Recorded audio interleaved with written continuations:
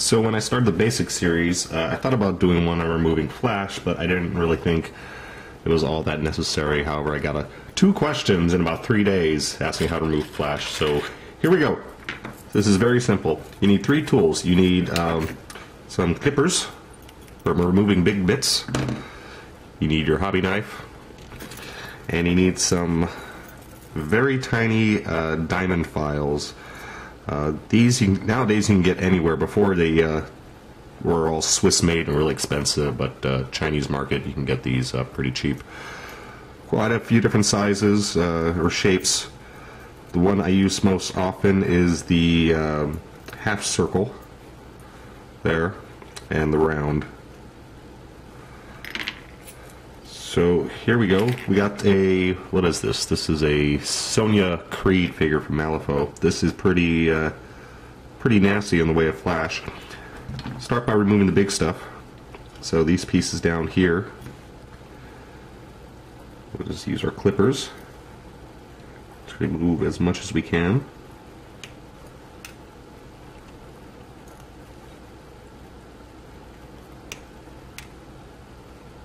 And the smaller things, you just pop off with the, uh, the hobby knife.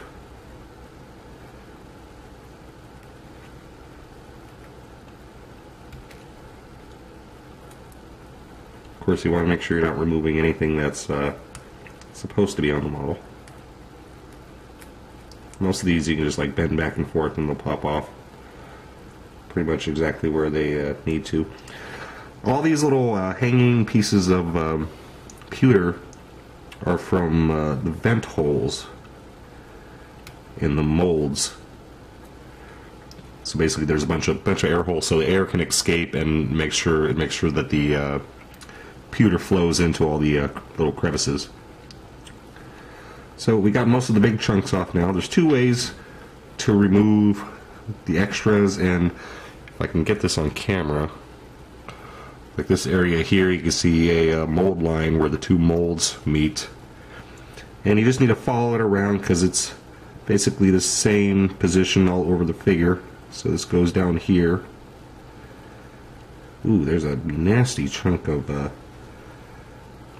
Here, here's a good example of a screwed up mold. This area right here, you see it's kind of rough. And it kind of extends uh, past the holster. That is a tear in the mold. So they need to replace the mold on this figure. Molds are replaced all the time. Obviously this one uh, should have been replaced before casting this figure. To get that off, just going to slowly trim it away.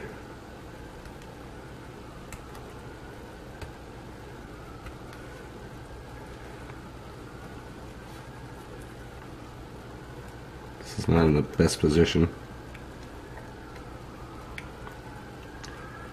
And you can just pull pull something away like that. Uh, you can also use a file, of course. This is a little cramped quarters, though. And this is going to need some trimming later, but uh, I don't want to spend this whole video just doing that. oh, so back to the mold lines here. Um, two ways you can do it. For the first rough stage, you use the hobby knife, and you just want to scrape it any mold lines that you can. This usually only works on uh, flat surfaces. But we can get this one underneath the uh, arm here. Either use a, use a knife like this, or you can scrape like so. There's another area that would be hard to reach with the file.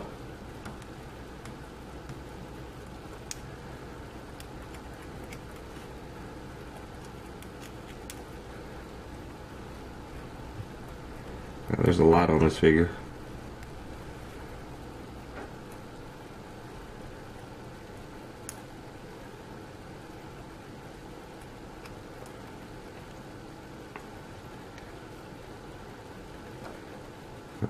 Yeah, there's, this mold is uh is pretty bad. There's some bad stuff here too. Ah, this is going to take a lot of work. All right.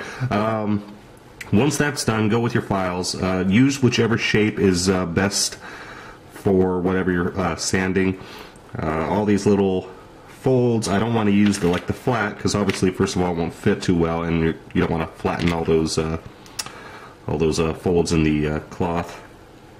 So the round gives you basically three options. You have the flat side, you have the round side, and you have the edge. For things like this, I use the edge so I don't just completely destroy the molds, excuse me, the folds, and more, I'm more uh, likely to enhance them this way. There's a little chunk there. Let's use the flat side. Switch to the round.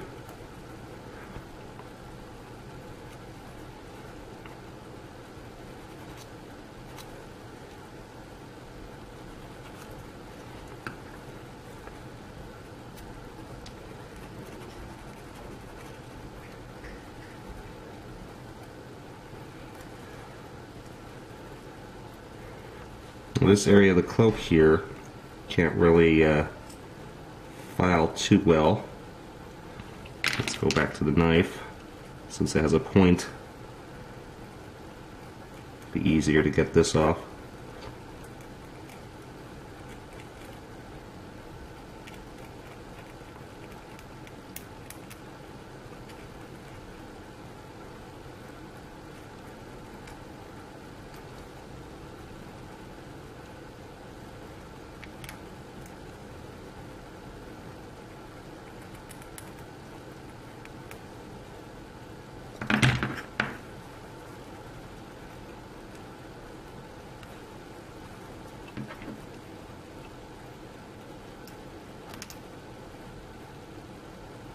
See, that's a bit extra flash I notice.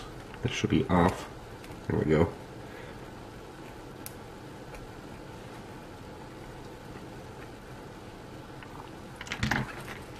And this side over here, a little bit easier to get with the file. I just poked myself. Yeah, these are sharp. I have uh, drawn blood on these uh, several times, so you do want to be careful.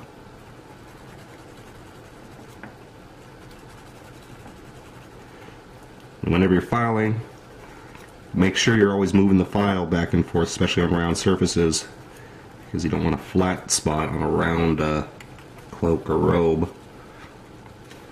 In here, if we can see, again, we're kind of at a belt area with small folds, so we're going to use the side again. God, there's another tear in the mold here. Jesus.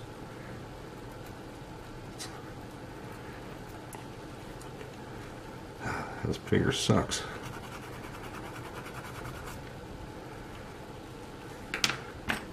That is, I'm trying to see if that's a tear or a flash or what. Yeah, that's an extra bit of flash there.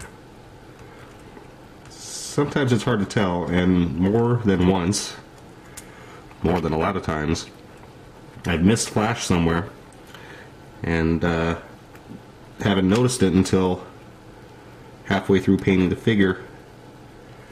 And when you get to that stage, there's not much you can do. Especially with the paint on the area. I mean, you can go back and file it, but then you're filing through the paint and it kind of ruins everything.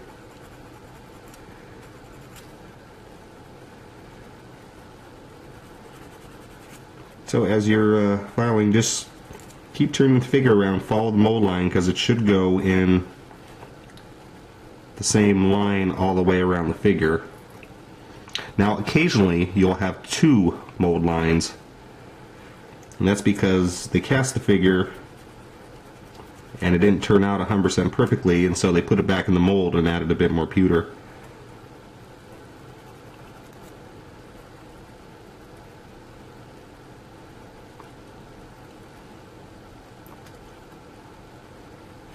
Alright, um, that's the uh, basics. I'm not going to spend 20 minutes filing this thing because that's what it looks like it's going to take. Um, one last thing about the hair. Hair is always a, a pain to uh, take the mold lines off. I just saw it. Where'd it go? So again, use the edge. Actually, I'm going to switch to my triangle that has a bit sharper edge. And just give it a quick few back and forth. You definitely do not want to over file, file all the hair down. You can also use your hobby knife to not really remove the mold line, but more like sculpting the hair in deeper. So you hide it, at least hide in the recesses, and it will uh, disappear.